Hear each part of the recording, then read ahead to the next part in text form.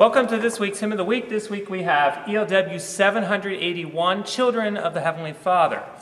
Today I'm going to share three points about the text and then three points about the music. So let's start with the text. Carolina or Carolina Sandell-Berg, the Swedish writer, she, was, she wrote this in 1850 and it was probably around the age of 17 or 18, so she wrote this as a teenager. Second point, the hymn is certainly about God's care and protection Verse 3, if we look, neither life nor death shall ever from the Lord his children sever, refers to Romans 8:38. Nothing can separate us from the love of God in Christ. Third point, this is really interesting. Per Harling, Sandell's biographer, mentions that the baptism hymn, it doesn't really say anything about baptism, even though it is the baptism hymn. It's the baptism here at Emmanuel Church as well. So it does connect children but if you look at the text itself, it really doesn't say much about baptism.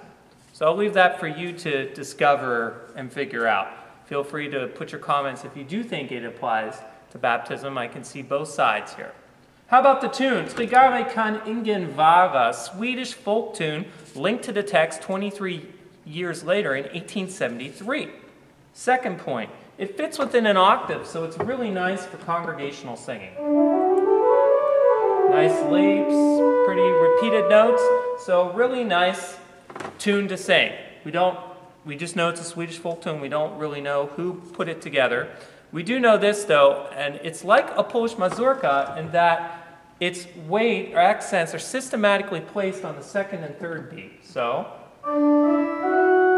third beat here, accent, third beat, and then third beat here, so much like a Polish mazurka, believe it or not. So here's Children of the Heavenly Father.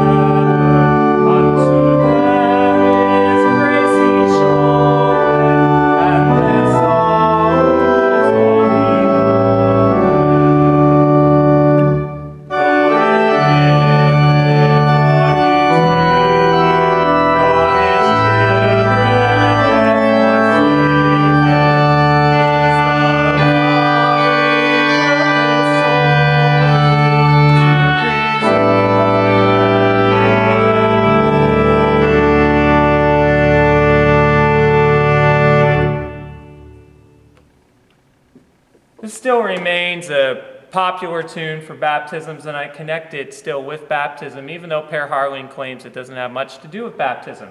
I do want to thank, uh, use the arrangement of Wilbur Held and Valerie Shields. I think I've used both of their arrangements uh, and harmonizations for Children of the Heavenly Father.